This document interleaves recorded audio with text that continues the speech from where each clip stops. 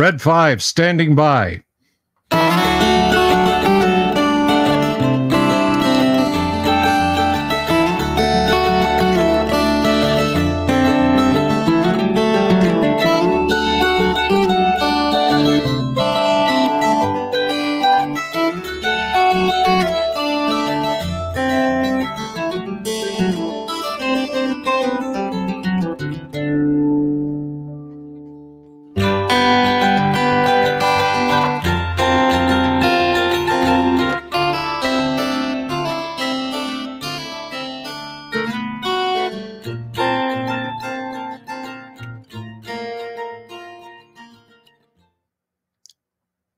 What's going on, everybody? Good Wednesday evening to you. It is good to see you, and it is good to be seen by you. And I hope you're having an absolutely wonderful one. I, of course, am Bill Silvey, aka the Dungeon Delver, and we're going to be joined by my co host, Kyle Schuant, here in just a few minutes. But I hope you're having an absolutely positively wonderful Wednesday. We've got some fun in store for you guys. Uh, we're going to be showing you guys how Kyle is going to be doing the hex crawl that we are going to be kicking off here. Um, now, as I understand it, uh, also I'm going to be genning up a character tonight for his game.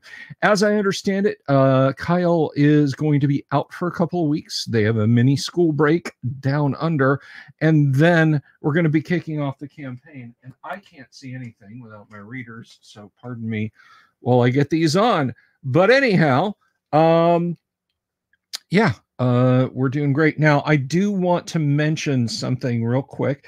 Uh, first of all, good evening, Deadly Dungeon Master Christopher Sackle, Vaughn Gifford, Grim Lord Gaming, Robert Phillips, Local Gumby, and anyone else out there. Hello, Mr. and Mrs. America, and all the ships at sea. Um, so tomorrow night we are going to have uh, Jack Photon is going to be on the show, and I'm excited about that. Jack creates absolutely beautiful, bespoke tabletop RPG materials. He has done wondrous things. And guys, let me tell you something. If your name got drawn out of the hat for the con last year and you didn't collect on your Jack Photon stuff, um, you're you, you missed out. You missed out. It's going back in the drawing. You're going to want that. Lord Corion, hello. How are you? RPG Grandma, uh, listening while you car wars at home. Well, may all your dices be uh, sixes, I think. Um, but anyhow, uh so yeah, that is happening tomorrow night.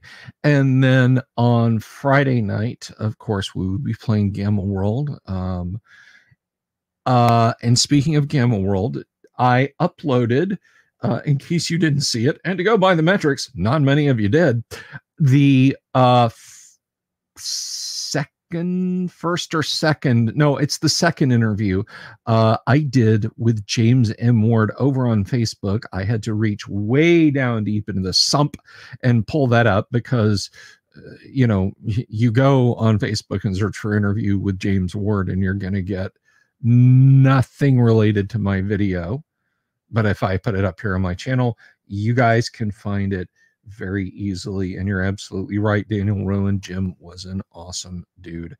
Um, so the fourth one or the final one, it's not chronologically the fourth, it's chronologically the third, uh, will be going up tomorrow. I will upload that. I didn't want to oversaturate uh the the algorithm for me so that's going to happen and uh, so you guys will have uh, almost eight hours of of listening to Jim talk. Uh, and uh, you know, I apologize for the audio and video quality.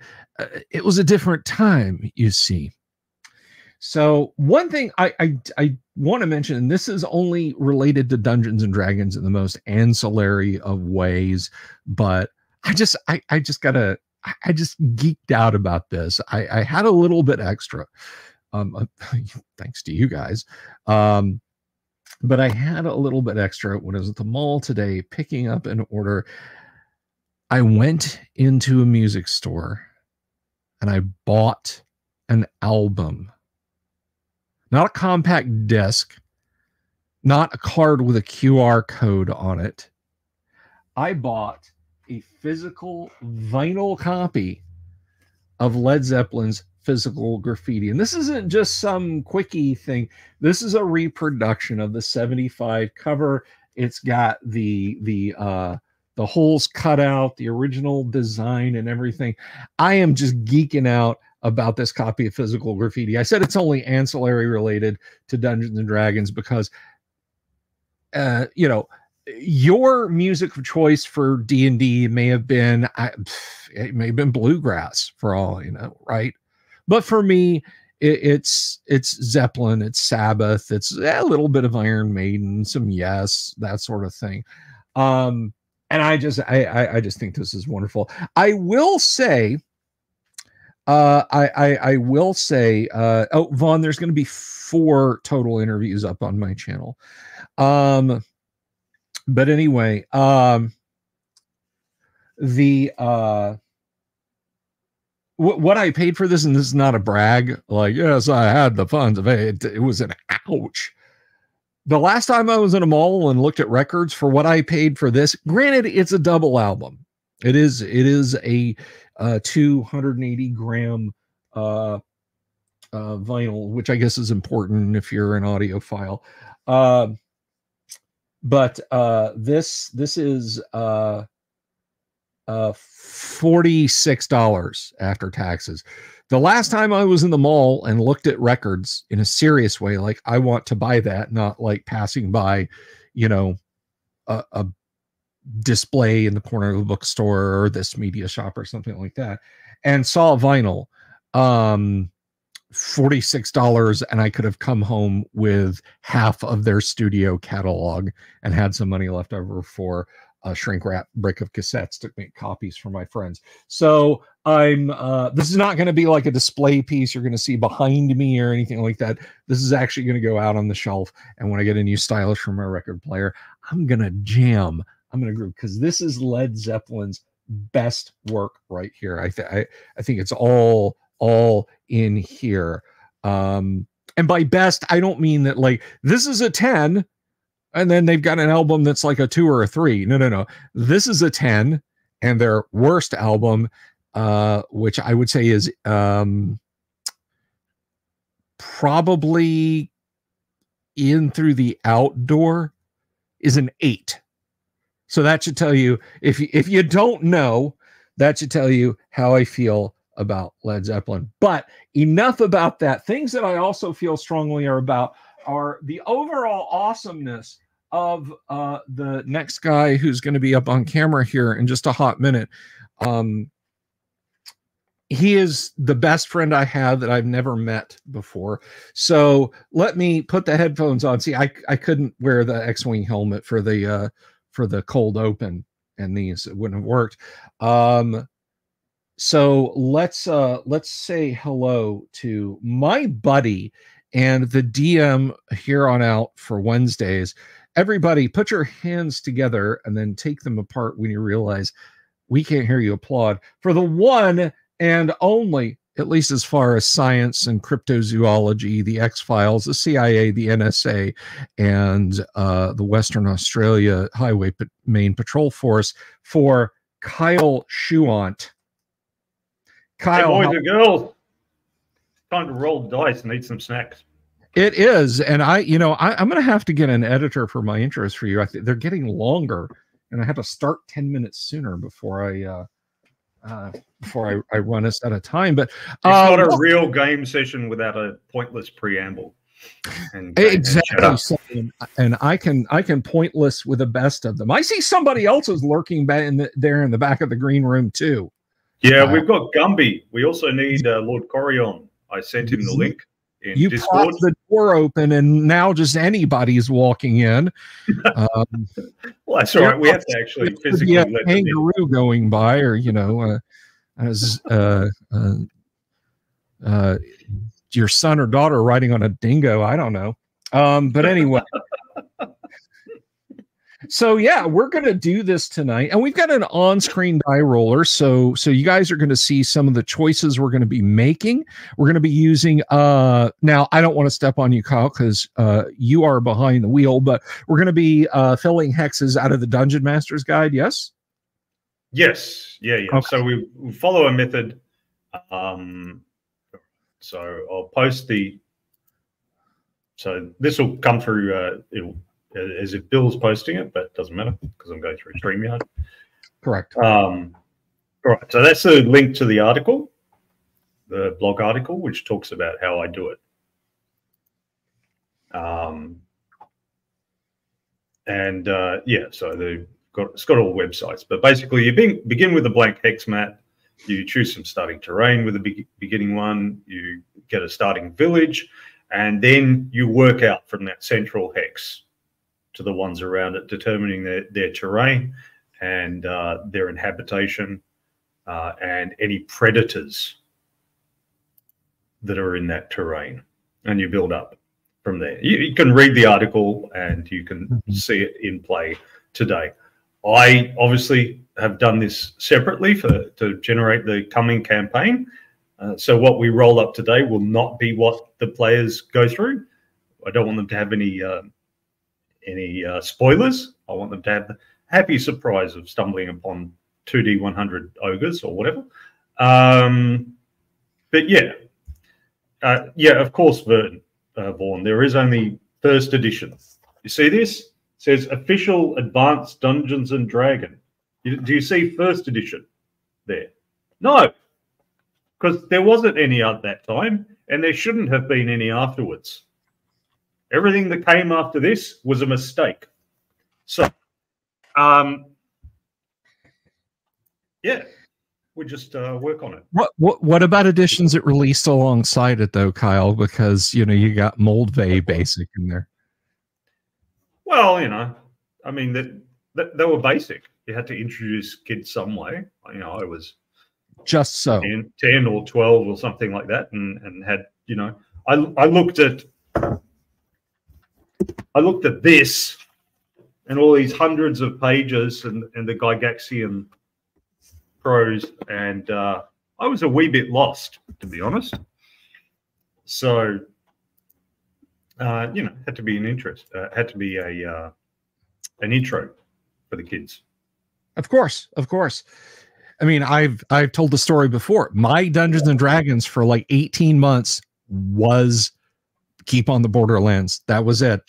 That I, I just sussed it out, and you know I, I didn't, uh, you know, as as the man said, you know, you merely acquired Advanced Dungeons and Dragons. I was born into it. I did not see an advanced book until I was 13. Let's bring on Lord Gum, uh, Gumby and Lord Corian because I've never actually heard their voices before. Looks like they don't have cameras today. That's all right. You can you don't have to display your face, but you do need to be able to communicate with us in some way. Yes, I so, think there's a uh, between you and I that if they don't have cameras, it should be fine. Yeah, yeah, that's fine. There, there's, I mean, nobody needs to see my face either, but I've displayed anyway, just because I'm sadistic. I want you to suffer. So, um, yeah, let's bring them on and they can introduce themselves. Eh? Alrighty. Uh, now, Lord Corian, I have talked to before. It, he's an awesome guy. This is not a matter of preference, but I do want to talk to Gumby. So, Gumby, come in, Radio Gumby. Yes. Can you hear me? Uh, no, I can't. Oh. Of course I can. welcome, welcome. Uh, good to finally get to talk to you. Welcome to the thank show. You, thank and, you. I figured uh, I'd ease you guys in. I, I'm a little bit of a acquired taste, so I don't want to hit you with the visuals also. Uh, I, I, and we we and the the the viewing audience home appreciate it. And uh, here's here's a fellow who uh, has been uh, kicking around this neighborhood for a little while. Uh, everybody say greets to Lord Corion. How are you, my friend? Hail and well met, my friends. Hail and Hail well met. Well met. All right. so uh, as the as they say in times of aviation crisis, Kyle, your aircraft. All right. So, um, add this thing. All right, so here's the uh, here's the article telling you what to do. You won't, obviously won't be able to read that on screen, but just to remind people to go and look at the Hex on Up article. Um, so that could be a good guide, even if you're not using Dungeons and Dragons. Um, it just shows uh, what a nice and useful tool the Dungeon Master's Guide is. Now, we'll be using all free online tools. Obviously, uh, you guys can just use pencil and paper. That's what I usually do. However, for an online game, it's good to have online tools, and it's also obviously good when we're wanting to share things with our live streamed audience. Um, so there's a useful little there's a useful little site called HexTML, which is basically making hex maps by way of online. Uh, it doesn't have random generation, so you have to fill them in one by one, and the scale is entirely up to you. So I've got a little thing here. All right. So I've just started off with a blank map and a hilly terrain, and I've called it a village called Stuff, just for simplicity. And then you can go edit player's notes. Now the first thing is the uh, the text. Oops, I need to zoom out a bit. There we go. The first thing is the text. The text is what displays. In this case, the name of the village. Now you could write an entire novel if you wanted, but then you it would be hard to see anything. Then there are the player's notes. So for the um, for those who don't know uh, this website, so there's two ways you can use it. Uh, one is when you use it for free, the dungeon master will just be able to use it themselves. Um, if you save it, it will only save locally on your own laptop. In order to be able to save it and uh, have a link that you can share with others, you need to be a, a, paid subscriber, which is a few dollars a month or something. Uh, but that, that would be well worth it if you were running a regular online game. Then you can have the players' notes, and any of the players can put those notes about that particular hex and uh, edit them accordingly. Secret notes only the dungeon master gets to um, do these and see these.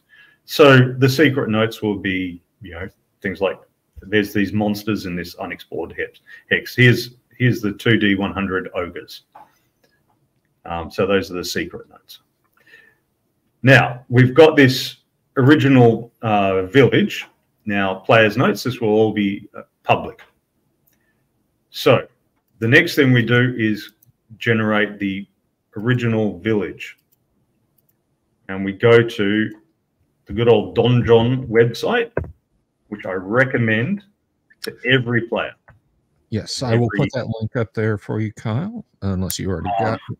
Yep, yes. I've already done so. Uh, yeah, every player every DM of every game, it has many, many useful resources. If you look along the side, you've got name generators, world generators, there's fantasy stuff, there's random campaigns, treasure, random treasure maps, Avatar Legends, whatever that is, AD&D, D20, Pathfinder, D&D 4e for those reprobates who play that, um, fifth edition, weird fiction, science fiction, Alien RPG, they've got everything. It's a wonderful website.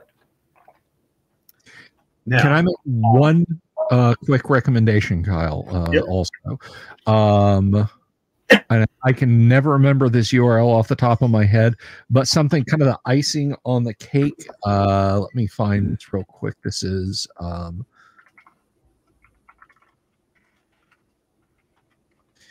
uh, here we are. This is now, even if you're playing in a homebrew world, if you want to gen up some weather, you want to know are the is the party getting rained on, snowed on, sandblasted, sun uh, burnt, whatever. This is the uh, World of Greyhawk uh, scroll of weather forecasting. But and again, you can use it for any terrain. Uh, it does follow the Greyhawk calendar, but you can generate 365 days of weather, save it, to your local machine and apply it to whatever fantasy calendar you come up with and uh, it will it is for all sorts of terrain all sorts of climates. You can input which latitude you want that to fall on. So, you know, if you're like, well, I picture this as taking place in medieval Florida, you want to set the the, the latitude you know fairly uh uh i, I guess uh they, they, go they go down as you go south kyle. Uh, is that correct or do they go up as you go south? Anyway um go down something i'm not sure. Yeah so you know you you obviously you don't want snow in february if you're if you're gaming in fantasy uh, tortugas or something like that or maybe you do i don't know but check out that website to add weather to your world. Radio Okay, so in this campaign, what will what will have happened is that um, count of this area, Pfaffenberg, which is in the north of the country, uh, and uh, is mostly wilderness with lots of monsters running around. He wants to populate and enrich his world, so uh, he sends you, the adventurers, up north to uh, go to this village and clear the surrounding area of monsters uh, and that will gradually attract people. And so then you'll have more men at arms and more people who can help you out, and so on and so forth. So it's effectively like you know the, the traditional. You reach ninth level, you build a stronghold and clear the surrounding hexes of monsters. It's like that, except that you're doing it gradually from first level onwards. So, you know, whichever of you last till ninth level gets to be Lord underneath the count. Anyway, so the here with the we've gone for the medieval demographics, and it comes from a wonderful book called uh, Medieval Demographics Made Easy by S. John Ross, where he uh, looked into the actual demographics of medieval villages and towns and that you know like in the movies and the stories there's always a blacksmith there's always a village inn and so on and interestingly enough the most common profession isn't blacksmith or innkeeper because you need a certain population of people to sustain each worker, the most single most common thing is a shoemaker, a cobbler. Uh, and that appears in, I think it was like one in 150 uh, people would be a, a, shoemaker. And you just think, like, if you've got these people who are out in the fields all day, every day, their boots are going to wear out pretty quickly uh, on, on the scale of things. Whereas there's not so much need, like, uh, if, you, if you've got an ironmonger, somebody who makes horseshoes and hinges and stuff, that stuff doesn't wear out as quickly. So you, you don't need it to go as um, to be replaced as often. Anyway, so we've got the county of Pfaffenberg, which I've said as a thousand square miles. I've said it's got low population density. It's not quite desolate, but 240 years. Um, and uh, it says uh, County Pfaffenberg covers an area of a thousand square miles. Of this, 25% is arable land and 74% is wilderness. The county of Pfaffenberg has a total population of 40,000 people. The largest town has a population of 3,000 people. That's Das Kapital, by the way. The second largest, 1,800. There are no other towns of note in the kingdom. The remaining population lives in numerous small villages, um, isolated dwellings, etc. Um, now, the set, and then uh, you go to an individual settlement. In this case, I've just called it Stump, and I've given it a population of 256. And you can see how it said that how many carpenters and blacksmiths and everything. And if you just, if you're not happy with the results, you could just put your cursor in uh, the name or the population, and you just hit return, and each time it'll give you a new random one. Um, like you know, if you're insistent that the place has a barber, okay, now it's got one barber and one baker, one carpenter, blah blah blah. Or if you're really keen to have a blacksmith, you can just keep re-rolling the dice, so to speak, until you get the result that you want. Um, all right. We'll just stick with this one. All right. So I'm now going to note down what the town has got. It's got a barber, a blacksmith, and a carpenter.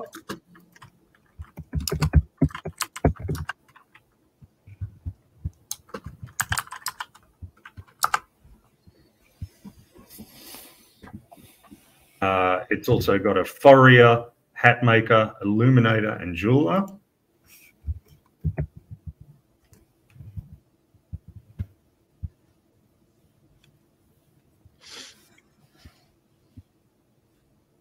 Feel free to speak up and make smart ass comments, guys. It's traditionally Oh, good. I was just waiting for permission. There's a maid servant, Mason. Mason will be useful if you want to build walls. Uh, Mercer. What's a mercer? Running games. Who in the audience knows what a Mercer is? Somebody pays uh, uh, um, comment up. I mean, I know that I know the common name, but I, I don't. I'm not familiar with uh, with with that as a as a role, a mercer. Purse maker. I know mercerism was uh, was uh, Philip K. Dick making fun of Scientology in uh, Blade Runner, but uh, do androids dream of electric sheep? It did not show up in Blade Runner, unfortunately. I I don't know what a mercer is. What what is it, Kyle? You're gonna have to tell me. Oh, Nope. I believe it's actually a grocer, like a green a, grocer or a general merchant. Ah, fine. I'll no, Google it. no- nobody in the stream know? No, not a clue. Oh, okay. A dealer in textile fabrics, especially silks, velvets, and other fine materials. Uh, good old Google, eh? There you go. I I knew because I've had uh, I've had three um, uh, clients over the years who had the surname Mercer. There was a Tess, and Aaron, and a um, and a Louise. Two of them were related because they were married, and then the third one was completely unrelated. Uh, I know what a farrier is. I was wondering, yeah, if the town had one. No, the town does not have a farrier, unfortunately. All right. Yeah, the town has got a barber, a blacksmith, a carpenter, a furrier, a hat maker, uh, illuminator. Furrier and farrier are not the same. For anyone who's wondering, uh, wondering, furrier is for furs, and a furrier is for um, is um, Horseshoes. Yep, that's right. Uh, hat maker, illuminator, jeweler, maidservant, mason, mercer, pastry cook, purse maker, rope maker, saddler, shoemaker, and tailor. And as we like to say, furriers ruin everything. You do? Why? All right. Um, The village has um, the village has one noble houses. The peace is kept by one, and that's Count Pfaffenberg. The peace is kept by one guardsman. There are zero advocates to assist with legal matters, so you just have to speak for those more concerned about the soul, there are six clergymen and no priests. a, a a fairly dynamic zero defects allowed law enforcement system. I, I'm I'm picturing like an eleventh level lawful neutral fighter with a two handed sword who just who just walks around glowering at people. There's at one one um one guardsman. So in medieval towns, they would just call them a um, there was a reeve, and uh, it, it was the, the shire reeve from which we get sheriff, uh, and he just collected the taxes. Um, so yeah, so I'll just save uh, export at this point. Okay, Oh, did I miss it? Is there a Cooper? not Huh. you got no one to make your barrels. You don't even have a carpenter. Oh, you yes, there is a carpenter. We have a That's the carpenter. closest you He makes square barrels, aka boxes. Yeah. Now, there is no inn or tavern, so you're just going to have to uh, stay with a farmer or camp in a paddock or something. But I mean, medieval times, uh, travelers often did that. All right, so that is the town generation. Obviously, the game master can alter that as they see fit, but um, that's the town generation. Boom. So basically, a Get dry town. rid of that. And you. He he does have an assistant uh, with a crossbow, and uh, he makes him carry one quarrel in his uh, in his uh, tunic pocket at all times. But that's all. All right. So the um, uh, now we get to the random uh, terrain generation, the terrain around the place. Okay. When, uh, we then we go to the Dungeon Master's Guide, Advanced Dungeons and Dragons First Edition. There is no other. There is no edition but First Edition, and Gygax is its prophet. Um, and uh, we Amen. look at it, Harumph. and we look at Appendix B. Right, it's on page 173 of the Dungeon Master's Guide. You got that up? If- Okay, I see it there. If a wilderness expedition moves into an area where no detailed map has been prepared in advance, the random terrain determination system below can be utilized with relative ease for a one space x equals one mile or larger scale. In using it, however, common sense must prevail. For example, if the country is the expedition is in the North Country, the forest will be pine or possibly scrub, while in tropical regions it will be jungle. Similarly, if a pond is indicated in two successive spaces, the two should be treated as one larger body of water. The dungeon master must also feel free to add to the random terrain as he sees fit in order to develop a reasonable configuration. In any event, the DM must draw in rivers, large lakes, seas, oceans, and islands, as these features cannot easily be generated by a random method. As the party enters each space, generate a random number from 1 to 20, find the type of terrain the party is currently on by reading across the page, then da- read down the column until you find the line where the random number generated falls, and then sim- and simply move left to determine the terrain that predominates in the new space. Um, all right, so we're starting off in hilly text, uh, hilly text, hilly hex. Okay. The village of Stump is in the hills, and we start off with the northernmost hex. So we need to roll a 1d20 to see what the next uh, terrain is. All right. I got dice tray up, Kyle. If you'd like me to uh, Yep. to do that. All right. Here we go. Sixteen. 16. So that will be mountains. All right. So then we get the into mountains.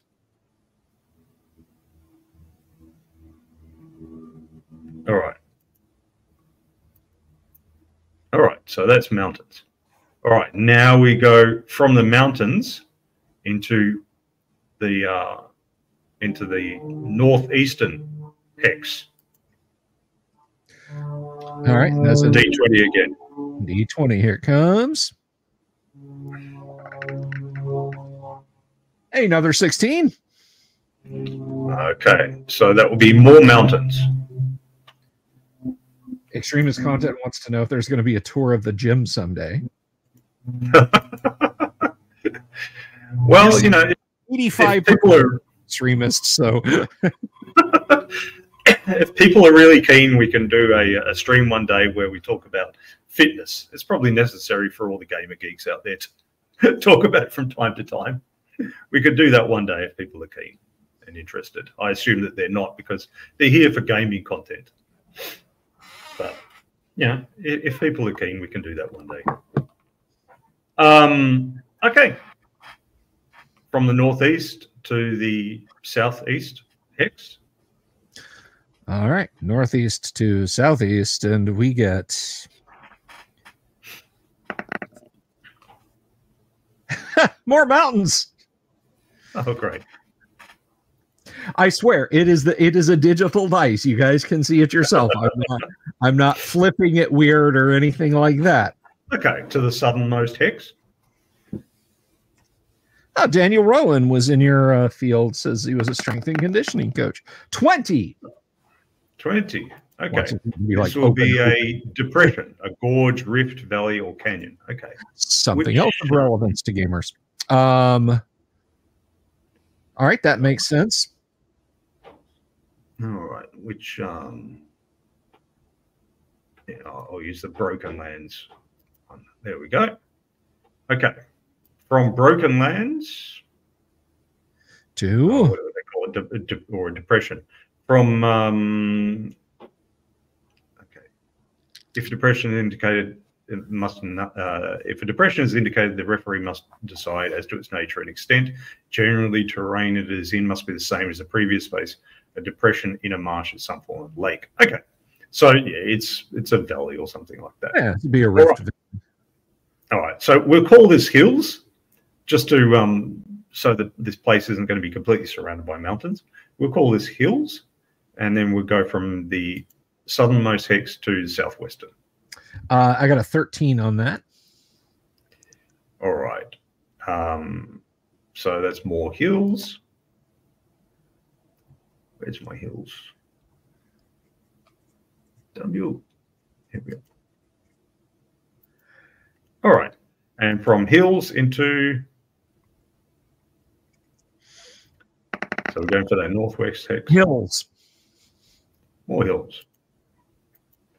These people are going to have strong quads. All this walking up and down hills. They are. This is going to be completely jacked villagers. Well, they'd be more like the the old Greek guys than that, you know, on the on the hilly Greek islands. All right. Um, okay. From the so we're going to generate the twelve hexes around there, and then we're going to start populating everything with monsters. All right. Okay. So from the hills to the north, Nine. nine. Okay. So that's more hills.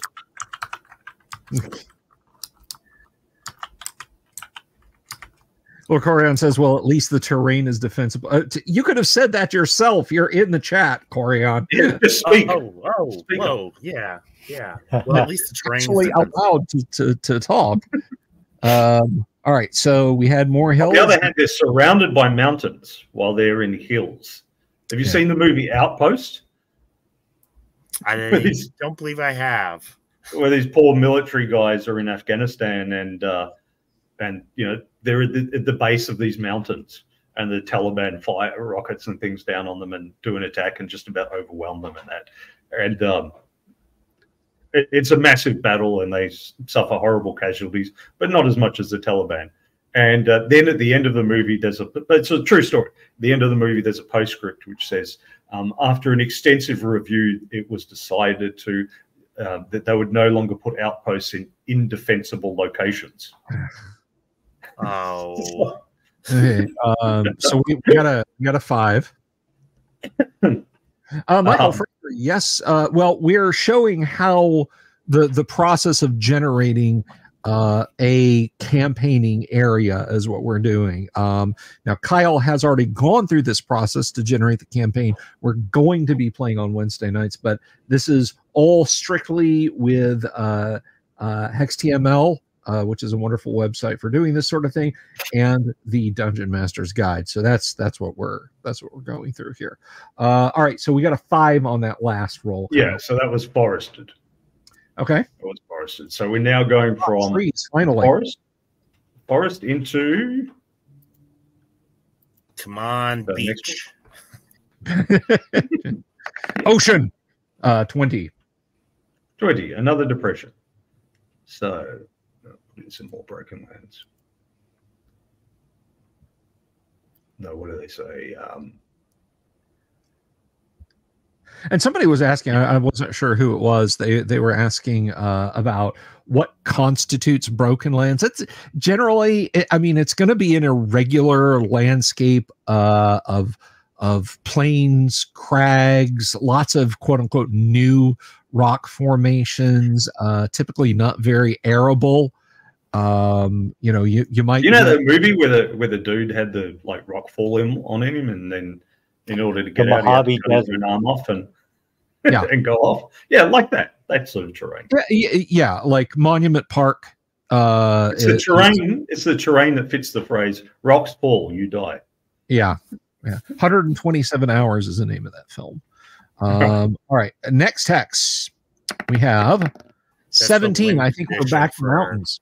That's our win condition for the campaign if we make it to 128 hours. Yeah. All right. Uh, what'd you get? Seventeen. More mountains. So Yeah. we've generated New Mexico. Yeah, basically. All right. well, right. From, what- from the what- mountains What's into over the next hill? Endless desert. Yep. The only state that's uphill no matter which way you come in. Yeah. 13. 13. Okay, yep, more mountains. Florida is downhill regardless of what direction you go. Six. Six. Okay. Um, desert. Uh, all right. We are creating New Mexico. My God. Uh, but Wonderful Wizard of Games asked Would this process work as easy uh, as it's for creating a hex crawl in a medieval Chinese setting? Unquestionably unquestionably, Chi- China is a, a, a uh, just regardless of politics or anything else. China is a beautiful country of of wonderfully varied terrain. Um, Yep.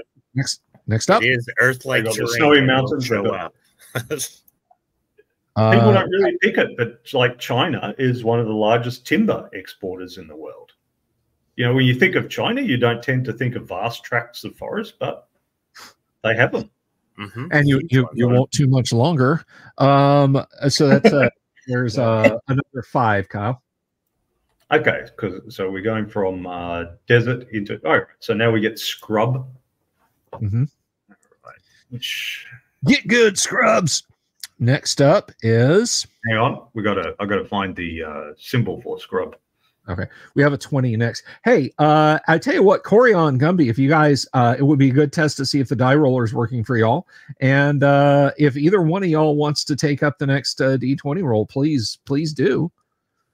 Yeah, sure. How uh, are we doing it in stream or in the? Uh, the I, I sent you I sent you guys a link. Open that. Uh, it's in the private chat area. Open that in another tab, and uh, you know if it's if, if you use script blockers and stuff like that, like I tend to for security, just allow it, and uh, then uh, click the dice, click roll, and it'll show up here in my pane. P A N E, not P A I N. Just to clarify, I don't get electrocuted or anything like that. Operant conditioning through die rolling. Does that save work? No. Ah! oh, I couldn't find a symbol for scrub, so I just used the one for grassland. All right. Alrighty. Now from scrub to scrub or grassland to what? What's the next one? Uh, Roll uh, one of these guys. either one of you guys got it up yet? I'm I'm, not. I'm not seeing that link, unfortunately. Okay, yeah, just uh it's it's back in the private chat tab um all the way at the top. But uh if you're not seeing it, I will roll it. We don't want to delay. Uh let's see. It's a 14, Kyle. I, I'm I'm guessing more mountains. Scrub into rough terrain. Oh, Rough. You can expect that. Uh, there was one. There was one uh, listed. Desert, rocky. We've just it rocky desert.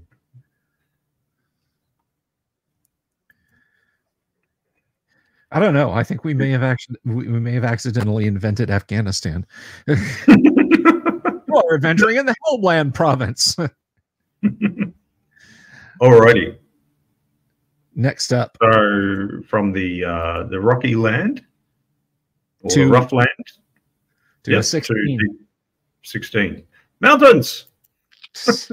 Hey, we have a working die roller there. Who did that? Hey, 12? I figured that out. All right, you got the next hex. Uh, who who who got that? What was that? that was me. That's That was twelve. Coron. Yep. What'd you roll? Oh, I was hoping you saw that. I saw I saw twelve. It was twelve. Yeah, I see 12. More mountains. Eh, You're going to get a lot of mountain creatures when we roll up the, the monsters.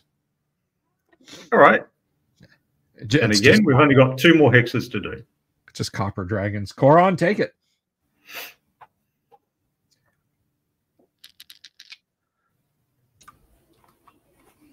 Fifteen. 15. Yep. More mountains.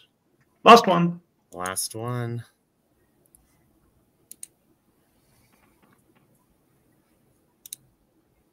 Eighty-eight. eight. Eight. All right. So that's hills.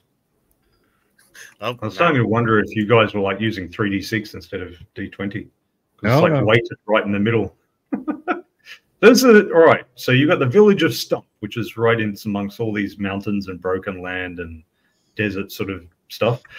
And you, when you look at the terrain, you can see why it hasn't been settled more densely more recently. Yeah, I was going to say just- the, pioneers got to stump and they couldn't go any further, so built the town here. Then They're too tired. Yeah. They didn't want to die on the Oregon Trail. You have died of dysentery. All right, um, and this is just the terrain for two miles around, and you can see why uh, you can't see the hexes any further, even though it's only two miles away, because there's bloody great mountains in the way. we can't see our own hex. They're probably not very high mountains because they're only, you know, occupying a mile here and there. Uh, so we're not talking about Everest or something, but it, it's, uh, you know, still substantial. I'm picturing terrain like parts of Australia because there, there are part. Australia is very geologically old. Um, we don't have, you know, any active volcanoes, or um, there's no fault lines or anything. Uh, so a lot of this terrain was formed literally hundreds of millions of years ago, and it's worn down. That's why Australia's a bit bleak and not very fertile because it's just it's old, old, old. So I'm picturing those rounded kind of hills that that we call mountains in Australia, but you know, no, not really. Like our, our tallest one is Mount Kosciuszko, and it's about 2,200 meters. What's that? 7,000 feet or something. You can walk up it. Like you, you don't need climbing equipment. You just need, you know, people have done it with a pair of runners. So, and that's that's our biggest mountain. So I'm picturing something a bit like that, but you know, you, that would be discovered during the rest of the campaign. The town of. Got Okay. Easy to navigate, right? All right. Now you check each space for the possibility of inhabitation. You use random numbers, zero, one to 100. Okay. Um, now I'll say straight up that I'm going to reject anything that has a result of being a city. I'll just change the, that result to uh, being like castle or ruins or something. Um, All right. So it's uh, D100. So Uh, Gumby, you want to do some rolls? Sure. D100. so this is for the northernmost hex.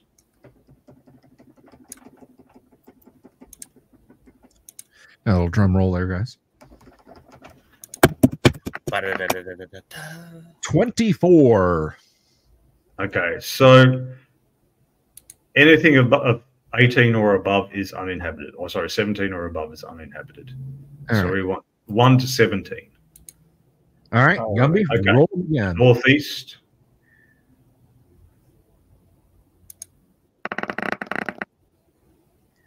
Nothing. Okay. The southeast. Nothing. The south. south. One more. Nothing. Southwest. Oh, I saw. I thought it was going to come up 05, but it's 25, so nothing. The uh, northwest. Nothing. All right. Yeah, now we go to. It's the limit of the damn mountains. Nope. All right. Now we go to uh, this hex here. I'm going to zoom in. All right, go to this hex here. Some more rolls. So we need 12 more rolls. Go ahead, Lord, if you want. Yeah, Lord, give it, give, give it a Got roll. it, got it. Let's see. Give me something Got good, guys. 33. Nope, that ain't No. good.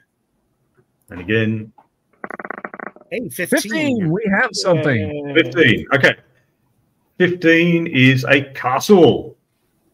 Hey, hey. Castle generation. Pencil is pants. fun. Oh, right. Text. Castle. Uh, and which one of you guys wrote that? Uh, rolled it? That was Coron. All right. Castle Corian. Excellent. All Well, right. Hello, Uh, Mr. Where's Fancy. the um? Where's the? Uh, all right. See castle tables. Appendix C. Page 182 to three. So now I'm going to go to page 120. All right. Castle size, uh, size, class, and type. D100 roll to see how big it is. This is all you, Lord Corian. So I Hope 71 is big. 71. It's a medium castle, medium walled castle with keep. Okay, okay. We got the keep. That's good. It's hoping is for it on a spoilers. borderland? At this point, it, this is a All borderland. right. Once the size and type of castle is discovered has been determined, the inhabitants are found. D100. In that castle. D100. Uh, yeah, D100.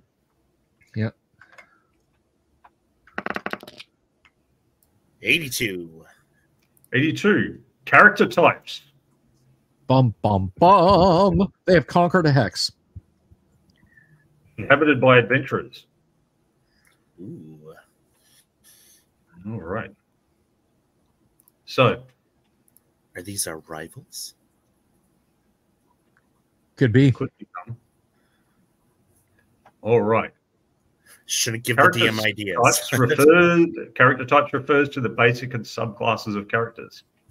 Okay, so D100. Yeah, they are indeed lords, lord types. 23rd level bard. if you get it zero zero. All right, D100. 69. They really is a bar. Nice. Yay. It's a magic user of 11th to 14th level. Okay, Good so roll a one, roll one d4 for uh, the magic user's level. One. One. So okay, so he's 11th level. Only an 11th level magic user, kids. Nothing to worry about. That's a hell of a lot of magic missiles. Yes, it is. lots of hold persons, lots of magic missiles to amuse himself with. Four magic items possessed by the Stronghold's master, as well as for discovering the level of his or her henchman, use the character subtable in the dungeon random monster tables. There will be from two to five henchmen found within a fortress. Certain character types will have special followers, and these will be found there also. However, except for the clerical possession, these followers will not serve as the main castle garrison. The, these those men at arms will be, and then there's nine to twelve heavy horse, 9 to 16 light horse and so on. Okay, so I'm just going to put this in. as 2 to 5 henchmen. And then copy and paste the other stuff. I'm going to put a little note. I'll put a little note to rewrite it because obviously the, the game master can do every hex one by one, um, or they can uh, just you know do a little bit and then um, come back and fill in the details later. Um, And yeah, uh, oh, fortresses will be stocked with food, water, and supplies of arms and missiles. Each will, will have artillery and sufficient crew to operate each engine as follows. So you've got a um, medium castle. There's going to be two ballistae scorpions, two light capital, uh, catapults, and five oil cauldrons. Nice. Um, My goal is Yeah, to make sure so- the oil cauldron, cauldrons are used this game. So I'm not going to. We're not going to roll up all that right now, but it's sufficient at the moment to know that that's there, um, and we'll see how we'll think. Hmm, I wonder how it's going to interact with the others around. All right, let's continue. Corian can, I think, can, um, can uh, rest his dice for a moment, and we can see what Gumby rolls up for the next hex if there's any inhabitants. Give him hell, Gumby. D100? Yeah.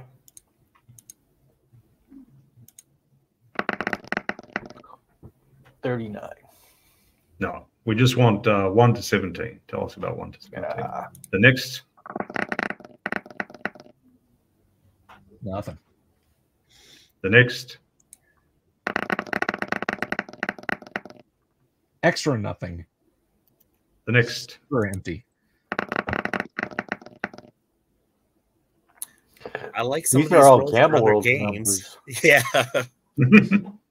and the next, You guys just like throwing dice at my face. All over my face. Nothing. and the next. Oh, so close. You guys are determined to give us like empty mountains. And the next, Nothing. Kyle, an 11th level magic user and a party of adventurers have moved in. Of course, these hexes are empty. How about eight? eight? There we no. go. What'd you get? Eight? Yes. Yes. All right. Uh, all right. So we're going to go back to the uh, page 172, 3.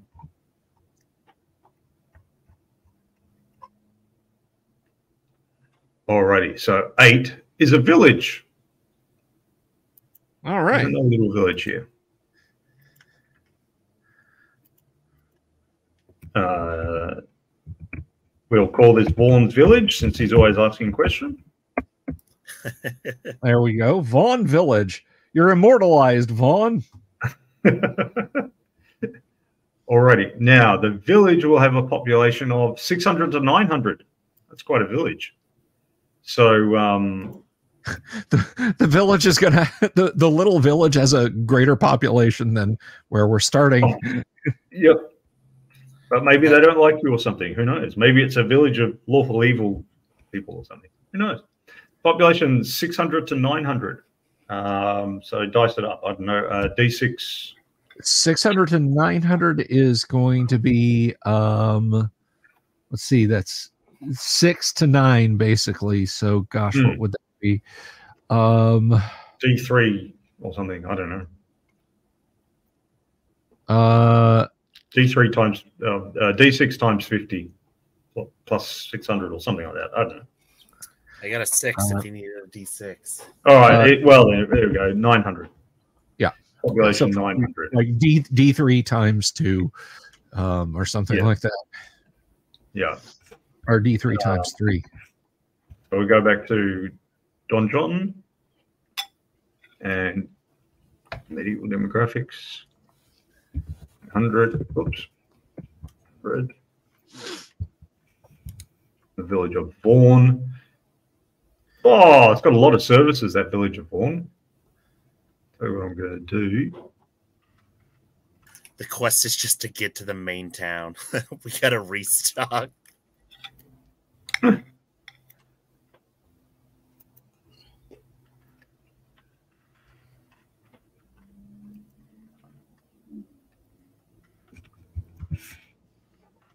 got zillions of people. Oh, it copies fairly well. All right. Um, it's got all those people.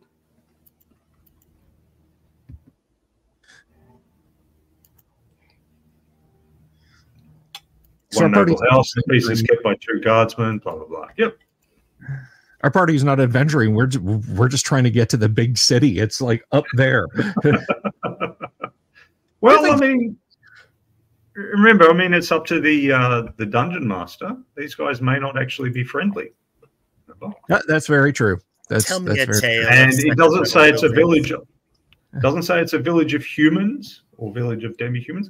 Could be a village of two hundred of nine hundred kobolds. yikes So, um, yeah. All right. Two hexes to go. Two hexes to go. We want a D100 roll to see if there's anything in these. all right do to it put your dishes down Nope. 96. And the last one. Oh, nothing nothing. All right. Now, okay, so we go back to the article and it tells us okay, you begin with a blank hex map, blah, blah, blah, starting village. You do the terrain, you check if there's a normal settlement or ruins. Um, but it- predators. We assume there are endless numbers of ants, dogs, deers, and so on in any hex. What we're interested in is the things which might kill, capture, or eat you, the predators. One kind per hex. Normally, DMs roll for the party to encountering wandering monsters. But note this is not a roll to see whether monsters exist in the area, but whether the party encounters them. I haven't seen a fireman all week, but the fire station is about 500 yards from my home. I'm pretty sure they didn't all close up and go home. But if a party thoroughly explores a hex, they will find the, those monsters and sign of them. You can't have a flying dragon around without cattle or sheep disappearing, or 120 goblins marching about without leaving muddy tracks or manure by the side of the road. So you roll for the appropriate monster, and consulting the AD&D uh, monster manual, check the number appearing. Um, then the percentage in lair. With wandering monsters, uh, as the party travels across the wilderness, this is normally the chance that they stumble across their lair. With this method, this is taken as the chance that the monsters have a lair in this hex. They may simply be traveling through, scouting, raiding, looking for food, and so on. And then there's the uh, treasure generator and all the rest. Okay. So we now go from the Dungeon Masters uh, in the Dungeon Masters Guide. We go to that big long list of all the monsters in the various areas.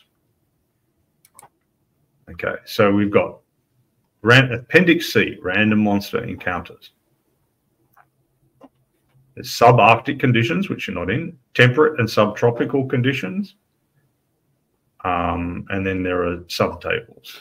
Right. So this is a temperate and subtropical uh, conditions, and we say uninhabited wilderness areas. It's effectively a wilderness area. Then predominant te- terrain. We go through each hex in turn. So the northernmost hex, closest to stump, is a mountain. Okay. Right. And then we roll a D100. So who wants to roll for what's in this hex? I'll throw some Gumby. dice. Oh yeah. There's All right, going to be something in every hex. You think it's a square mile and think like that can sustain a pack of wolves or an ogre or whatever in terms of the, the prey animals. 16. 16 will be a gargoyle. Multiple gargoyles. That makes Oh, sense. It's a stony. It's a stony place. Now we uh, roll to see if that's a lair, right? Yeah. So you roll. So, yep, we go to the monster manual. So find the with a gargoyle. eight and gargoyles, their percent in layer is 20. So that is not uh, that is not them, but it's two to 16 gargoyles just hanging out in that hex. Yep. So roll for how many gargoyles?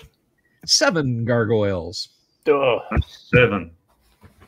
Seven. So seven gargoyles. All right. Now. And then we go treasure type. Individuals have treasure type M. Mm. Now, there's a wonderful site that will roll up your treasure for you. By the way, for those of you who are curious, that's um there's seven of them. That's 28 attacks. Because gargoyles do claw, claw, horn, stab, bite, all in a round. 28 attacks. This is why you maybe don't try and buy plate mail right out of the gate. You go with chainmail and hire eight guys with spears. All right. So the individual treasure, I've just rolled it up. Treasure type M, that's just some gold pieces on each one. Apparently, they've got, you know, I don't know where they keep the gold pieces, but anyway. You you don't want to know, Kyle. It's really I'll get the All righty. And then the, um, but they don't have a lair, do they? No, There you go. just, in they're there. just wandering around in the, wandering Yes. around in the wilderness. Just walking around with double handfuls of coins, going, "I really want to kill an adventurer." They got a coin behind the ear, perhaps. Anyway, so there's the gargoyles wandering around in um in that hex. Okay, now the northeastern hex. What have we got there? Do it, Gumby. Doom us. Give us a red dragon. In the mountains. What have we got? Dragon, dragon, dragon.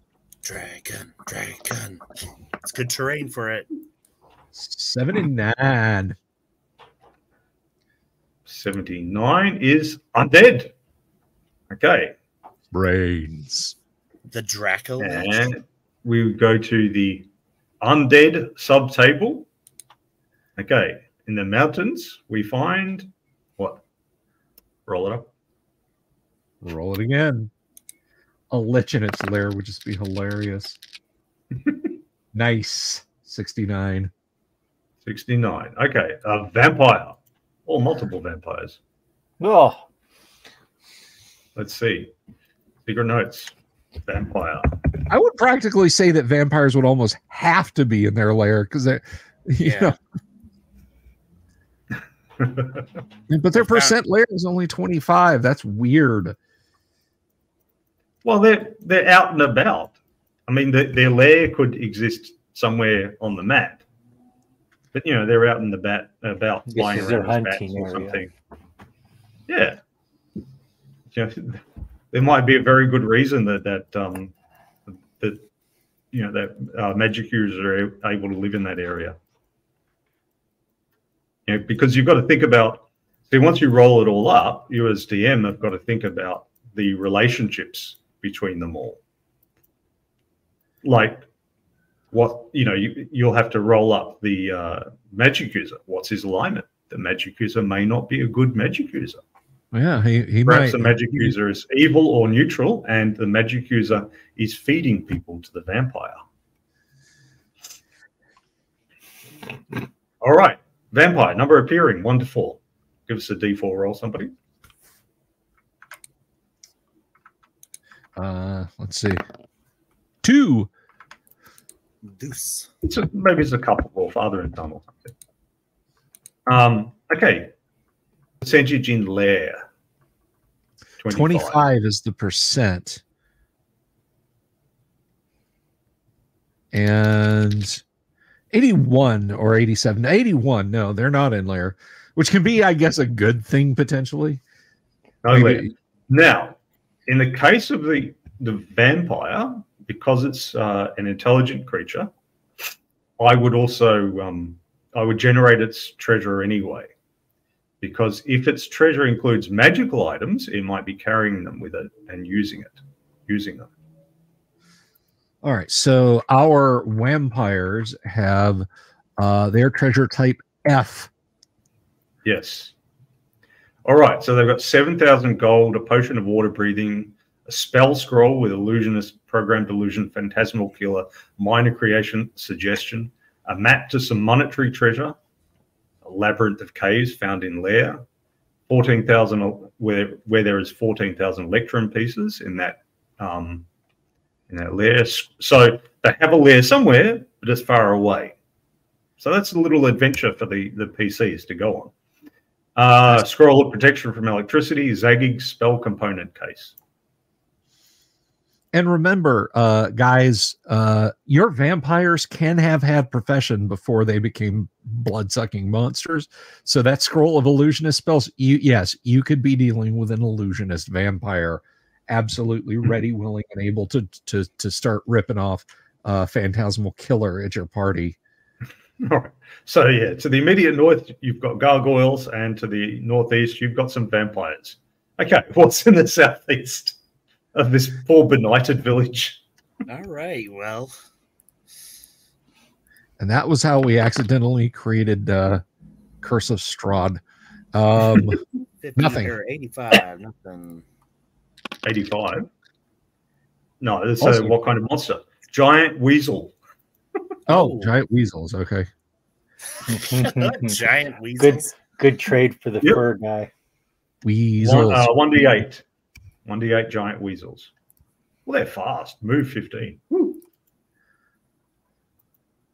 So, uh, One 1d8. giant weasel. Just one.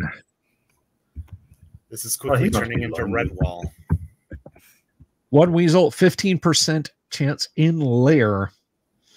Hmm. Is there a lair? Giant weasels ripped my flesh. Riz. Uh, you get D100 one for- internet dollar if you can tell me what that is in reference to.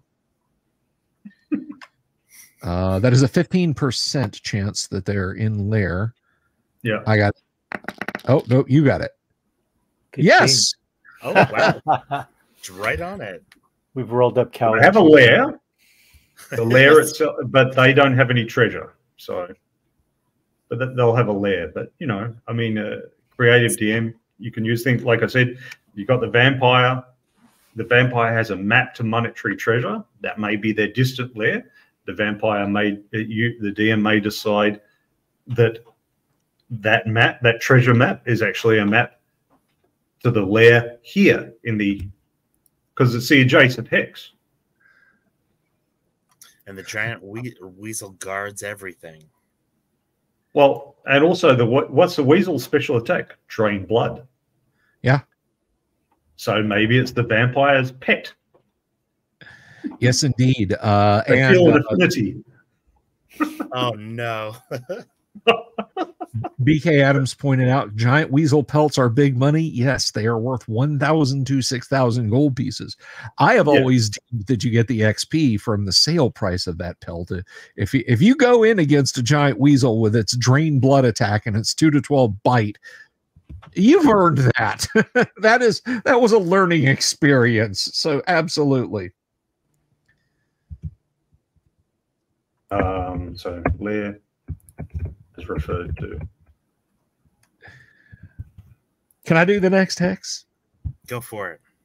Roll a baboon. I'll say the lair is referred to as referred to in the vampires map, and then All right. uh, what the weasels say. So I'll just say I connect the two things. It's a mile away. That's why you know, but he's just lurking around in that one. All right, the next one, the broken lands to the south of Stump. We have a 19. 19. All right, the rough terrain. A herd animal. Okay, is there a herd animal subtable? I don't know. Uh, Herd there animal. is. Uh, actually, no, I don't. Uh, now that I'm thinking on it, I was uh, herd animals are just kind of generic. They're antelope or whatever. Um, yeah, herd animal. Uh, 20 to 200. So 2d10. All right, what's in this? What's in this? Or I'll make it goats. Okay. Giant chickens. Uh, there are uh, 80 of them, Kyle. There are 80 goats. There we go. Being preyed upon by the weasel, probably. Exactly. It's, Nope. a, it's an ecosystem. No doubt. This is fat weasel in the next hex. Surrounded by the drained corpses of goats. All right. Um, they, so they won't have any treasure, obviously. All righty. The giant weasel is the chupacabra, the goat sucker. Yes. the next hex is hills. What's in these hills?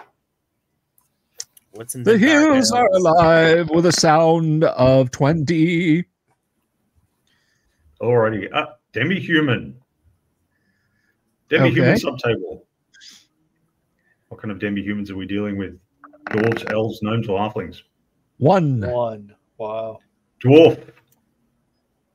And that answers the wonderful Wizards of Games. Why would the villagers of Stump ever consider living in this absolutely hostile to the very concept of life in Silveria? Because there's dwarves nearby. Dwarves are 40 to 400 uh, appearing. I think if somebody wants to. Correct. 40 to 400. All right. So uh, roll a d10 and multiply it by four. Gully Uh, uh, yeah. No, what, what do we want? 4d10 times four times 10. All right. One, two, Something three, that. four. Oh, Oh, whoops, you got it. I thought that was me. No, that's okay. Uh, so there's 200 of them. and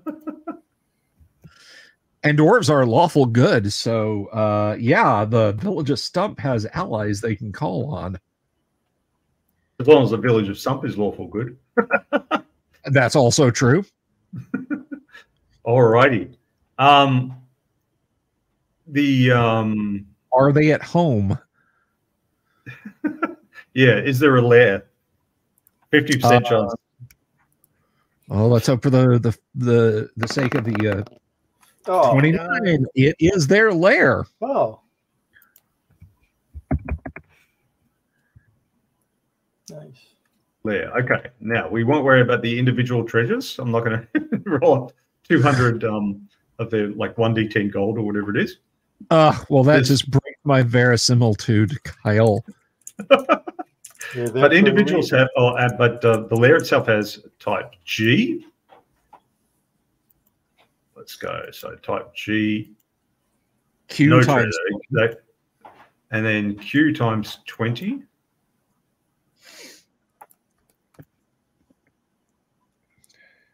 Two times 20. Lots and lots of gems, Oh, basically. Thank you for the super Binger. Uh, is my paladin the dwarf clan leader? Of course he's not. I don't, I, I don't know if I'm going to get a paladin, but um, no, I am not the dwarf clan leader. Um, and uh, then there's one remaining that's uh, treasure type R. Be Lord Master Blaster. Oh, it wasn't. So oh, I accidentally did 20. So it's 4,000 gold and uh, lots of jewelry. Total value 21,200. Yeah, but you have to like knock over 200 dwarves to get it. Or be sneaky. Um, yeah, so they'll have lots of treasure. After all, dwarves. For every 40 dwarves in a group, there will be a fighter of second through uh, sixth level. Okay, so you got 200. So, um, and there's four, so five. So we'll just go fighter second, third, fourth, uh, fourth fifth for simplicity. Um, six, because it's second, uh, what is, what is it? Uh, second through sixth level? Yeah. So, yeah, just one of each level.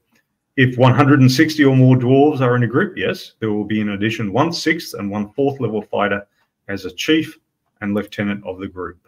So six times two, fourth times two.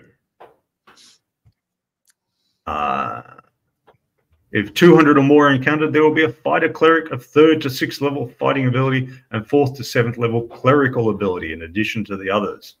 Okay, um, so we we'll just make him in the middle, fourth level for both. So fourth level fighter cleric.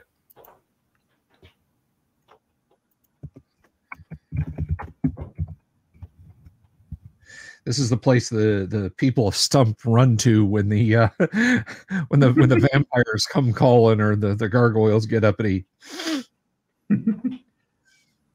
if 320 or more dwarves are encountered, no. Okay. No. And this is what they're enca- they're uh, they've got. And higher level fighter or clerics have a 10% chance per level of having magic armor or weapons. Likely to have tamed animals to serve as guards in their lair. Oh, 60%. See if they've got um, guards. 60% likely. They've got Let's see. guards. Uh, 60. Yes, on the nose. Okay, so 25% of the time it's wolves and 75% it's brown bears. Uh, Brown bears. Two to eight. So, Okay. yep, so two to eight brown bears. 2d4. Oh, 2d4, not 2d8. Yeah, 2d4. Two to eight. Got it. Eight. Eight. the dwarves are not screwing around. And not. That's why that weasel stays way up in its hex. Yeah, and of course, um, you might say, what about the guy, the uh, Castle Corion and and the magic user there? Like when you roll up his alignment, if it turns out to be evil, then the the PCs have got some work to do in like balancing up. you Yeah. know. do they want them to just go and do a mission and wipe, have one wipe the other out, or do they want to play them off each other for their own personal advantage? Plus, their mission is to clear the surrounding area. That means the count has unquestioned rule. So those groups have to either submit or be destroyed. How the PC is going to manage that, eh? Yeah. Indeed. Not at first level, but No, Oh. not, not at first level, no. okay. So the next group of um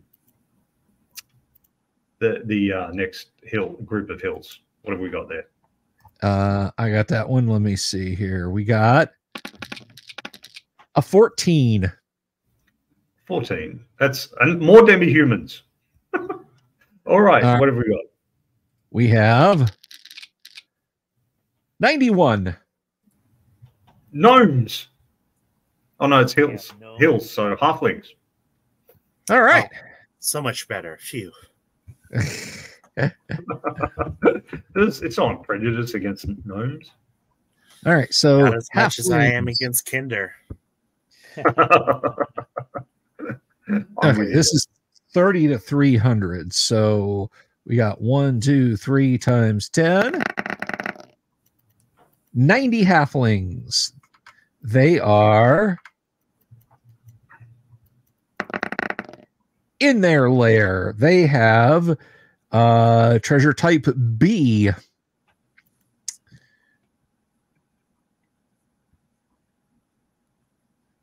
All right, let's have a look at treasure type B.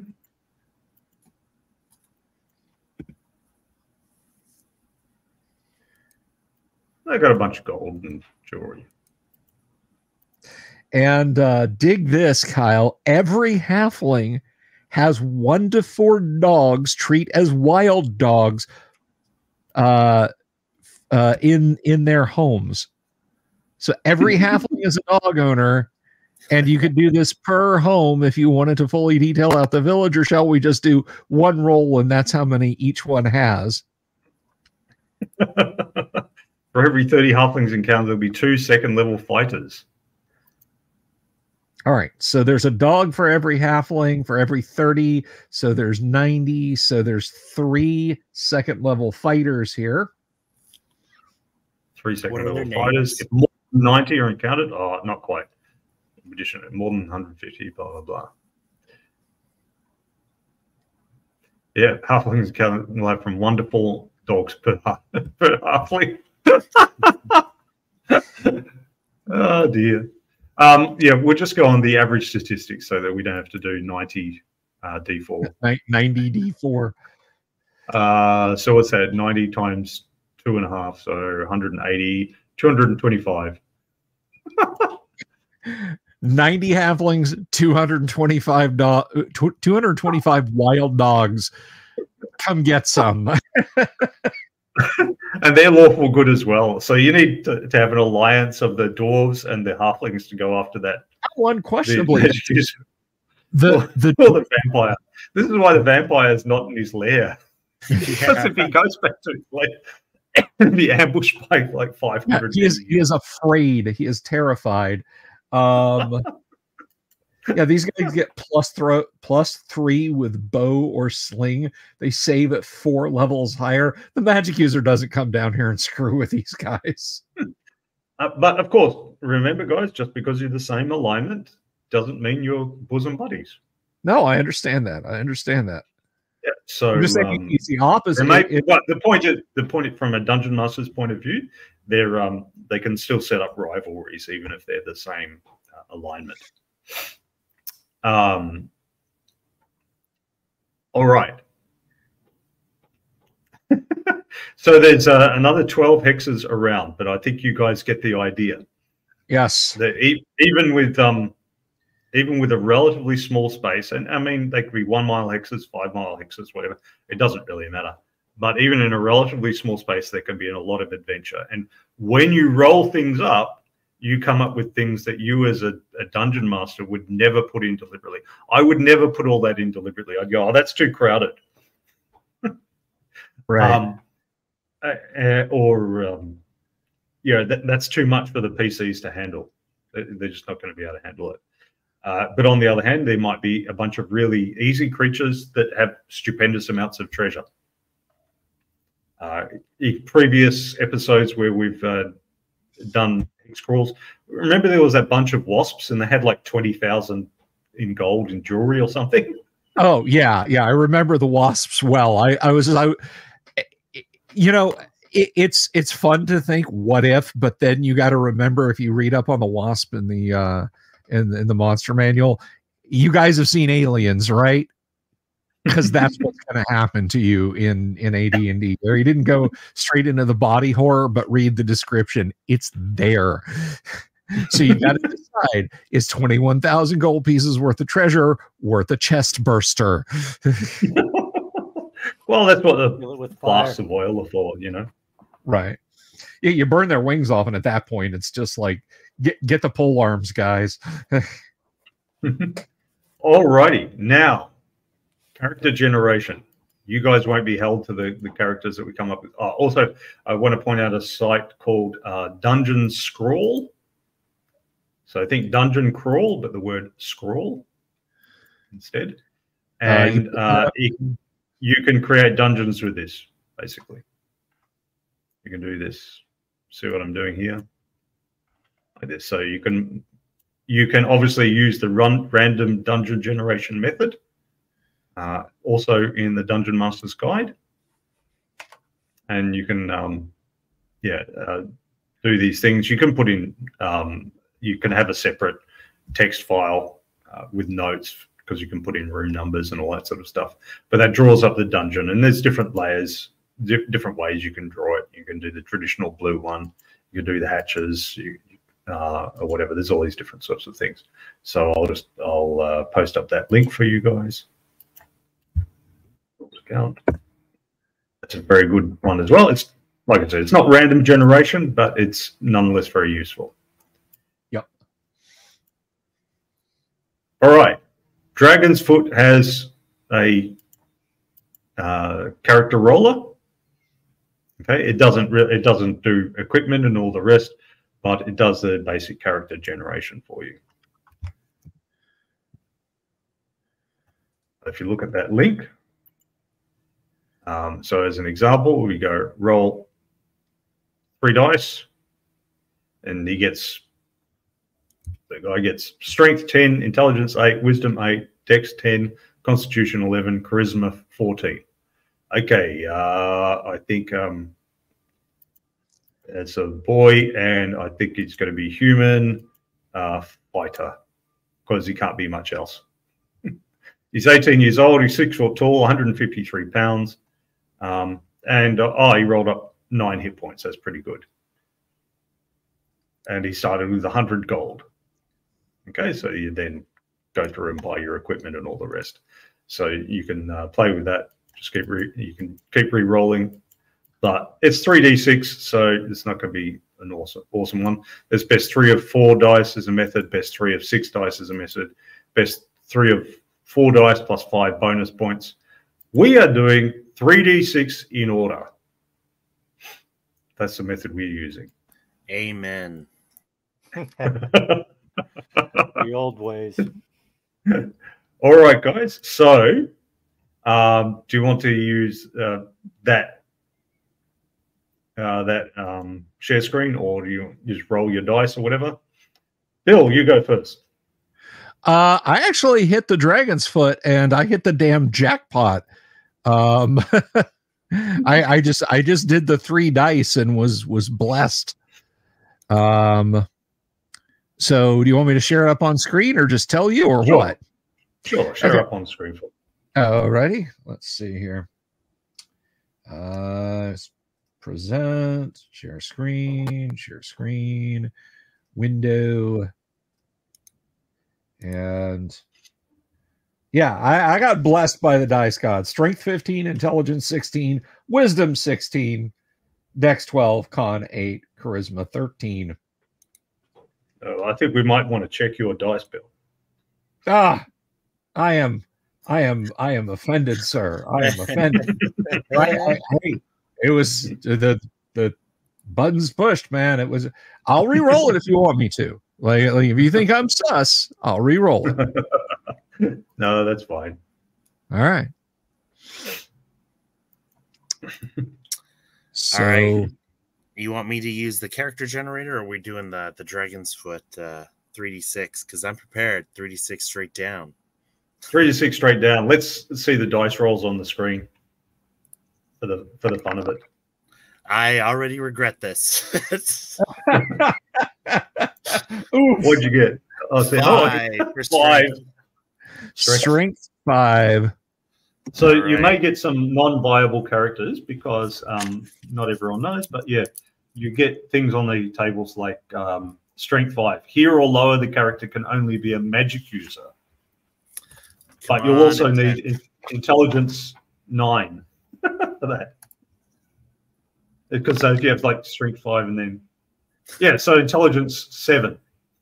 Yeah, so uh let's So you're not capable of being a character. You're not capable of being a character. This one's stillborn. It's like he doesn't survive infancy. That was too that weak was and for the stupid. best. All right. 11's better. 11 strength.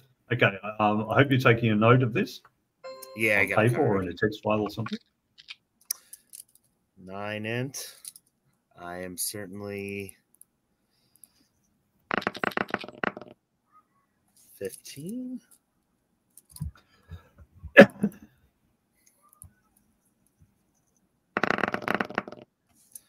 Seven.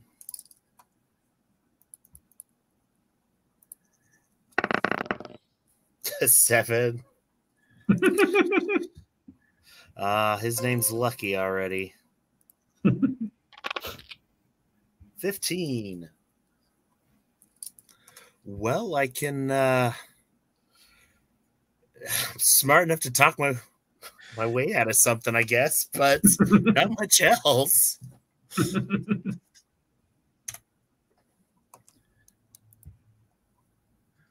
so what have you got? You've got uh, I got an got 11, strength? 9. Oh, yeah, I'll post it uh, in the main so got strength and intelligence both qualify you for fighter or magic user. I'm just going. I, I mean, you know, what order for the stats? I'm just going the order that they're presented in the player's handbook, which is strength, intelligence, wisdom, dexterity, uh, constitution, charisma.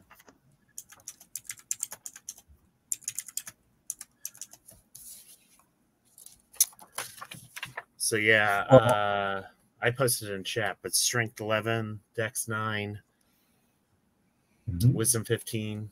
Or Okay, so, nine, um, yeah. I'm Yeah, not a so it could be um, could be a uh, uh, fighter, magic user, or cleric. You know what? We're going to probably need a cleric, so I'm going to pick cleric then. Uh, I will say I'm running a fighter magic user thief. Damn. He's going to level up so slowly. Uh, that's true, but I did start out with eight hit points. So, uh, yeah. okay. So uh, I am uh, I I'm using the best book for character name generation ever created right here. This is uh, Poplollies and Bellibones, and I know it's the best book for character name creation ever because this is the book that Gary used. If you go through this book and go through the classic Greyhawk modules, you'll find lots of fun names like Gleepwarp the Eye Biter and Funkin' Hottie Peak and all those others.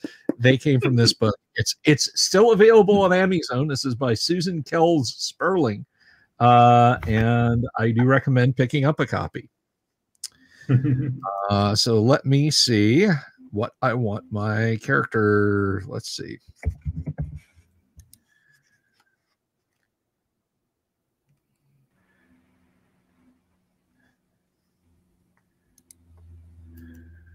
All right. Um, oh, this is a great thief name. Um, Teenful Nab Cheat is my character's name. I'm going to put that in the chat. Teenful Nab Wow. Cheat. Uh, and uh, let's see. Oh, it's, I, I lost it. Basically, uh, Nab Cheat is someone who uh, who will, will grab things when no one is looking. And uh, Teenful is someone who is irritating or a complainer.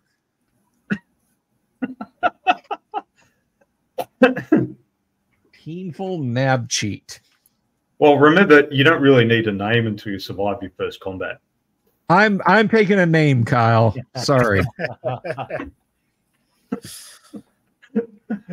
I did have a player once who said, "We don't want to know your name until you survive your first combat." Make it back and then We we'll wanna- figure it out. It's like Yeah. naming your pigs. You know, you can't slaughter them then. Names are for That's- closers. That's one one of the one of the fun bits fun bits of lore about 40k is um uh there I can't remember the planet but uh basically the imperium will allow you allow your remains to to stay in the military graveyard on the planet until you have no heirs left to tend your grave and then people have and then people have officially forgotten you. As long as somebody will come and maintain the headstone and so on you know it, it- it's it's left sacrosanct. But when that's done they just dig it up churn up your bones and your coffin and whatever else in scoop it out dump another body in dump that on top of it. Well, so you're that's going um, that's better than the historical one. After the Crimean War, uh, there was a British company that came and it cleared up all the British war dead that had been buried in mass graves, and it ground them up for blood and bone fertilizer and sold them in Britain. oh oh There wasn't the, the there wasn't the sentimentality that we have today. yikes It wasn't like the tomb of the unknown soldier. It's like, well, what's the tomb of the unknown soldier? I don't know. Maybe underneath those turnips. That's- yeah all right so for starting magic user spells kyle should i um Oh Let's see. yes, we've got to roll that- them that is up. the uh, three. Uh, I I have read magic, and then I have three d10 um, on e- well one d10 on each column. Okay, what page is that? I just wanted uh, just Uh, acquisition of magic user spells. Let's see. Uh, I think that is character spells. And we are looking on page 20. Is that 29? Is that, uh, no, that's 39. Page 39. So I get one offensive, one defensive, and a miscellaneous. And if that miscellaneous isn't right, well, I, I've, I've got some All right. studying do. Wait one, I'll just uh, share that with the group. Crew. All right, this is what we've got. So everyone gets read magic, and then you get one offensive, one defensive, and one miscellaneous. That is correct. And let's see here. Uh now you may choose or you may roll or I may roll. It's it's Roll, to roll. roll, roll, I roll, roll. roll, your spells. Okay, here we go. If I Where roll, I get blamed for the result. is- That's uh, secret let's see. why you have the players roll. So first one, offensive spell, charm person. Not bad. It's a good one. Uh, defensive spell. I'm looking at an eight, and that is spider climb. Also not bad. I can get the hell out of the way. And my miscellaneous spell is comprehend languages. They said they're going to eat us. Ah, thank you. And so All right, my- Corian, what, what character? Oh, you're starting gear. Your gear, yeah. Um, well, we we can we can do the basics of their characters. I was just going to point out with a wisdom of sixteen, I actually start out with three. I think it's three uh first level cleric spells, but of course I don't roll those. I- Just my God gives them. thought to you were me. a fighter magic user thief. I am a fighter magic user thief. Ignore what I just said. Uh, never mind. Sorry, I had been looking at uh fi- at fighter uh fighter magic user cleric earlier. So yes, Mm. Sorry, I tried to grab my player's handbook. Did I hear my name? yes. Yeah, what was the question? What character class are you going to be? Oh, cleric. Cleric. Okay. Oh, thank gods. Human cleric. all right. So cleric just gets uh, access to all the spells. That's easy. Okay, Gumby, roll them bones. I did the uh, the template. Oh yeah, what'd you get? I ended up with uh, eight for strength, intelligence thirteen, wisdom. Yeah, wisdom. potential, eight, ma- but potential magic user, not fighter or cleric. uh, dexterity twelve, Potential thief. So you could be a cleric or a thief. uh, constitution six, and charisma ten. Hmm. And I went with mage thief.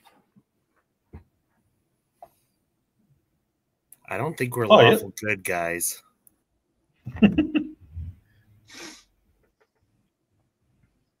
Yep, fair enough.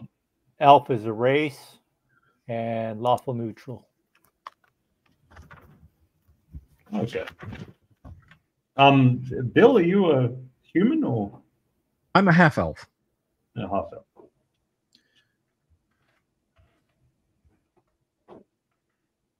Okay. So elves elves get a plus one to their dexterity, remember? And they get a minus one from their constitution. Yeah. I have that beefy constitution of six. okay. So uh Corian, did you roll your hit points? Uh yeah, I got four. Four. Okay.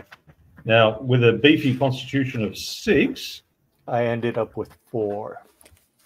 Four, yeah, because you get minus one Right. hit points there. As a straight magic user, I kept getting ones. So that wasn't going to work.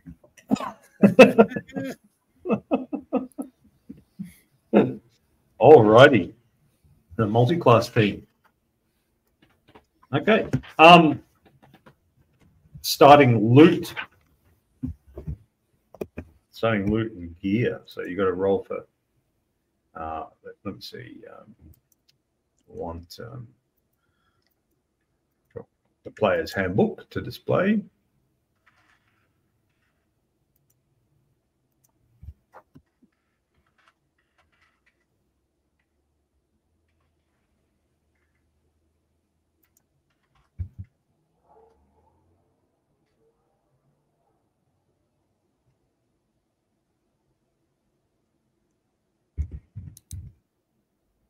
Alrighty. So the um Bill's character, the fighter, magic user, thief. Yes. What? How do you how do you do um starting money? Just average it out, I suppose. I think it av- it must average it out. It generated 68 gold for me. Uh, at least I think it was 68 or was it 86? No, it was Yeah. 83. I'm doing I'm doing better than I thought. So it was 83 gold. Okay. What kind of um, armor are you going to wear? ring mail. Yeah. Uh, and I'm going with a uh, short bow and arrows and a short sword. Okay, cool. Now, there'll be other stuff that you can acquire once you're in the town, Right. um, like normal adventuring gear, lanterns, and all that sort of stuff. Okay, Corian, what sort of gear are you going for? Well, what, what's your um, what have you rolled up for your loot? So, um, cleric gets three d six times ten, so thirty two, uh, 180 gold. Oh, perfect. Uh, what, was that? Uh, So three d six times 10, 130. 130. Okay, so note note that down. What kind of armor will, will you get yourself? I think I can. I can't find my player's handbook. I think I can only. That's afford, all right. Can you see the screen? Uh, oh yeah. Let's. Uh,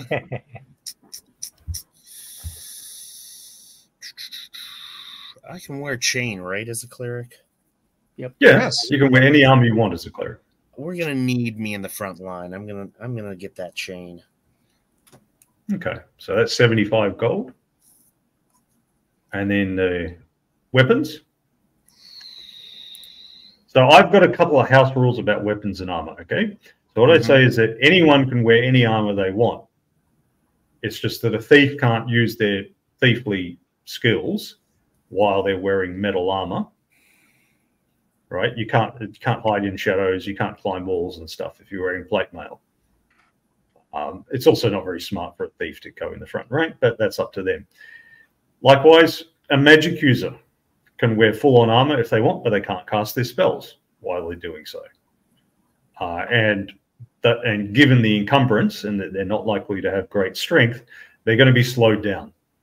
So if you want to, as a magic user with one to four hit points, go around in plate mail that you've somehow managed to afford, and end up in the front rank and be running along at like six inches while everyone else is doing nine to 12. And you'll be at the, like when the party's running away from a combat and you're at the back of the line with your four hit points. you could do that. That's fine by me. And unable to cast spells, go for it. No. As well, you can use whatever weapon you want. I don't mind. But the um, you can you can only get proficiencies. That where it says you can only use weapon X, I say you can only get proficiencies in those weapons. So a magic user can use a great sword if they want to, but the weapon proficiencies, It's non-proficiency penalty, minus five oh, minus five. That, wow. for a magic user. So the magic user, the first level magic user, you know, just to hit a guy with AC 10, you're going to need to get like a 15 or something just to hit a with no armor. But you could do that if you really want to. Uh, clerics are a little bit different. Um, you might get in trouble from your god. I also say if you're struck with, if you're reduced to zero hit points with a sharp weapon or flame or something like that, you continue bleeding out until you reach minus the negative of your constitution, at which point you die. If you are reduced to zero hit points with a blunt weapon, you do not continue bleeding out. I mean, people can keep hitting you until you you die, but you don't continue bleeding out. My reasoning is that the clerics using blunt weapon is that the good clerics want to keep people alive so that they can convert them or have them repent and then later execute them just to make sure that they don't backslide. But uh, the evil clerics want to keep them alive so they can either enslave them or sacrifice them to their evil god later. So that's why both um, good and evil clerics use blunt weapons. I want to hit them with a mace because I worship St. Cuthbert. Worship St. Cuthbert. that's fine. All right, but yeah. Anyway, so that's um, those are your weapons. So uh, maces, footman's mace is eight gold. Yeah, it looks like I'll take a mace and a heavy crossbow and some bolts, and uh, I'll leave. Some Uh, remember the left over cleric, you you you can't get um, the cleric can't use a crossbow. Oh, So you'll have a yeah. You could just you could throw clubs and things, but yeah. you can throw clubs. You can have a sling stone, whatever. I mean, like as I said, you can physically use it. yeah. Yeah, we'll one just use the proficiency. slings then. You might displease your uh, minus three, and you might displease your god. And uh, Mr. Dungeon Master, I Yeah. did uh, adjust a couple things. Um, remembering I need to thief, uh, I went from ringmail to leather. Uh, I got rid of the bow, um, also because I needed money for thieves' tools. So um, the price actually came out to the same. I haven't bought any um, any dry goods yet but uh, I did also pick up a spear. So I'm uh, leather armor, short sword, and scabbard. Uh, I've got a backpack, couple of flasks of oil, uh, the poor man's fireball spell, um, tinderbox with flint and steel, thieves' tools, and a spear Okay. Okay. for poking. All right. So, um, who haven't we sorted out? Gumby? Um, I ended up with the whole. What was it? Forty-five 100. gold pieces. 55 gold. Okay. And what are you going to get for yourself? Um, I think the only thing I could wear is padded without any penalties. Correct? For being a wizard. Yeah. Well, yeah, you technically you can't wear any armor. So, you but So your character can, right? you can wear armor, but then can't cast spells. So, So but robes yeah, so it's up to you whether you buy armor and use it. Um, remember, you can also, uh, and this applies to the whole party, you can set aside some cash for if you wish to hire men at arms. There may be some available, but you would have to arm and, and armor them. You'd have to equip them as well.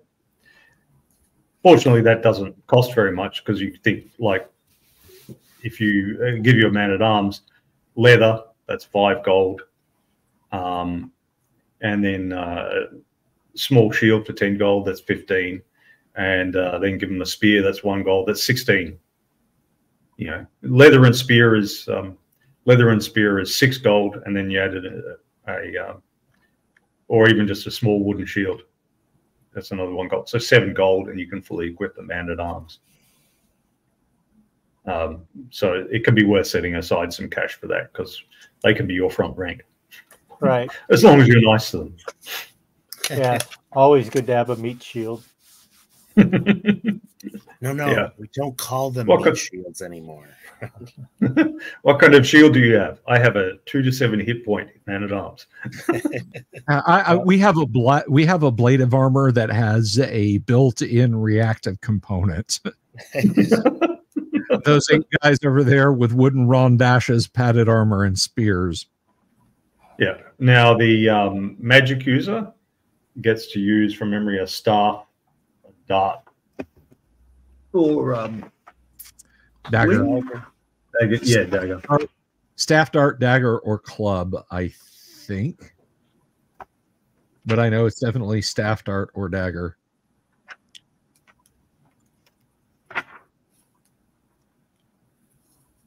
I would go Yeah, with dagger, dart. dart, staff. That's it. Yeah.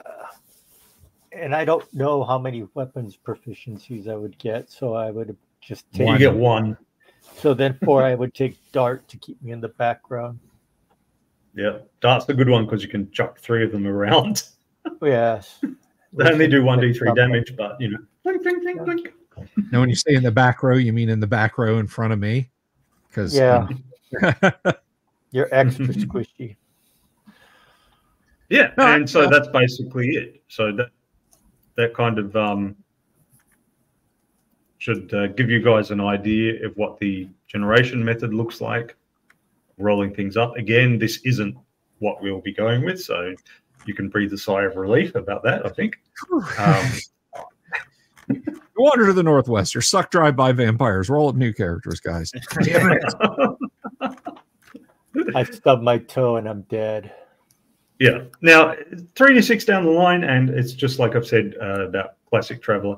You may not be happy with your character and with what you rolled up. That's fine. You just go ahead and you play them. And uh, if you're really unhappy with them, you play them as insanely bold and brave.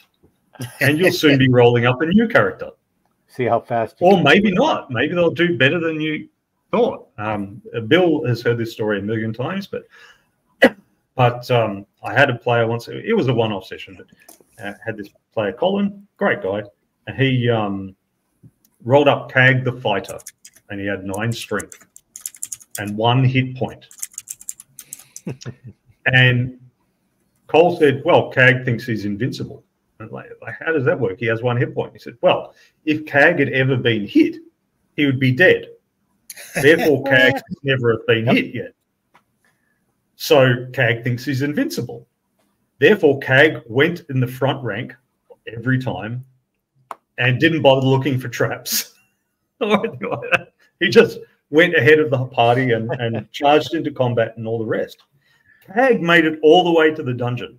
He made every saving throw. He got missed by every attack, and he made it to the end of the dungeon. And uh, there was a salamander in a pool with all the treasure in the pool. And he jumped on the back of the salamander and stabbed it repeatedly in the head and killed it. Um, and then got his share of gold, which was something like 1500 gold or whatever. And I said, okay, now you guys can level up. And he said, no, Cag goes home and retires.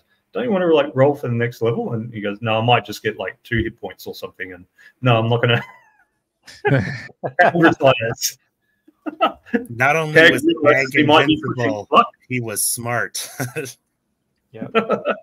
Quit while you're ahead. Yeah. Um, but you know, it was a one-off game anyway. So the point is, like, if your character is genuinely terrible, they'll die, and you can roll another one pretty soon. Um, uh, but you know, maybe they'll turn out not so terrible after all. They'll, they'll get lucky. They'll be better than you thought they were. So that's why the dice are always right, guys. You come up with more interesting stuff that way, both as a GM in uh, rolling up your game world. As I said, there's no way in hell I would have deliberately set up a place like that. Um, and uh, the players come up with more interesting characters than they might otherwise. And that's all I have to say about that. It looks vaguely familiar to the Ultima 3 map. It does. It does look. It does look pretty Ultima esque. So, Kyle, you are actually uh, you're uh, out the next couple of weeks after this, correct? yeah, I might be in um, next week. Let me just Okay. check the calendar. I might be in Check- next week. Um, Check the calendar. 'cause I'm pretty sure it's uh, next week there. Hey, Yes. Kevin School thank you. start- School holidays start on the Friday. So usually the um, day before the school holidays, the school finishes at like one o'clock or something like that. So um, I'm unlikely to be available next week. Um, if I am available, it'll just be to blather on randomly rather than actually game. No, I, I completely understand. So, so and uh, then it'd be two weeks out uh, or a couple weeks out, and then um, school holidays finish on the 14th. So yeah, I'll be back on the Wednesday, the 17th of April. And so oh, hopefully uh, Gumby and Corian won't, won't have, lost interest by then, and uh, we've got somebody else who's interested too. We'll have yeah, hopefully we'll have our fourth. So. Uh, yeah so we'll reconvene here in a couple weeks guys and don't worry we'll find fun stuff to do between now and then. Um and when we do reconvene we will have kyle's gentle yet firm hand guiding us through a hex crawl. Um i will be back tomorrow night. Uh jack photon's going to be here guys. You don't want to miss that. Jack is a is a creative madman, and I, I absolutely uh, thoroughly enjoyed the guy's work. I want to say Let's give them the trailer just to pump up enthusiasm yeah, yeah, yeah. Let's, so let's we can that. get a fourth player. let's do that. Make it full screen, Kyle. Make it full screen. Show us all.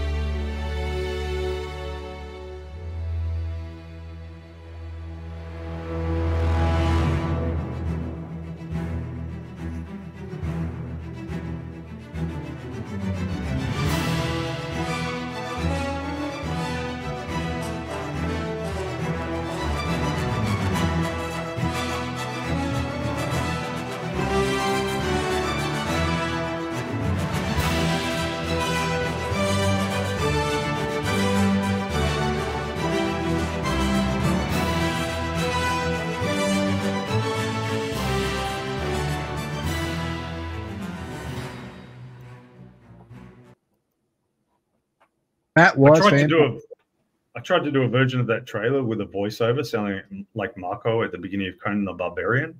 Uh, but when I listened back, I sounded more like Winston Churchill. You know, it's like between the times when the oceans drank Atlantis. You know, we shall fight them in the dungeons. We shall fight them in the hexes. This will be our finest six turns.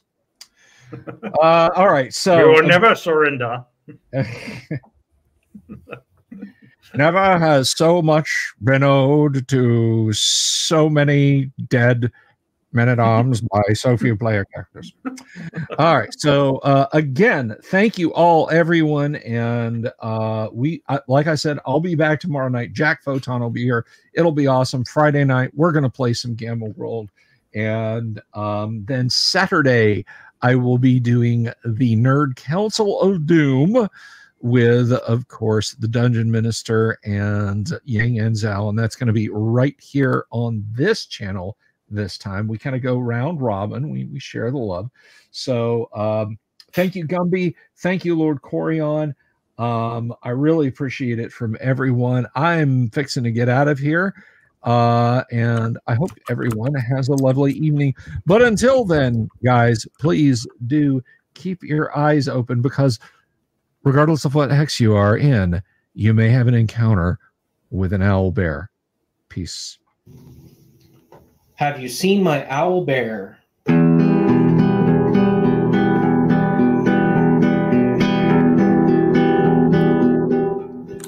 Here's to all the weirdos everywhere in the woods and in the air. Have you seen my owl bear? Should I shave off all my hair? Are all around. Some live in tunnels underground. Some are fat, some are rich, some are sleeping in a ditch.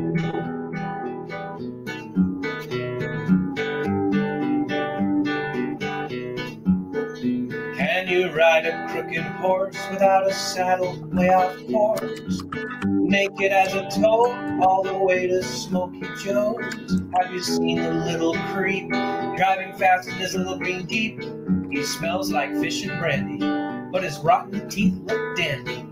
Take me to the show. I don't care if fast or slow. From action flicks to dancing dicks, just take me to the show.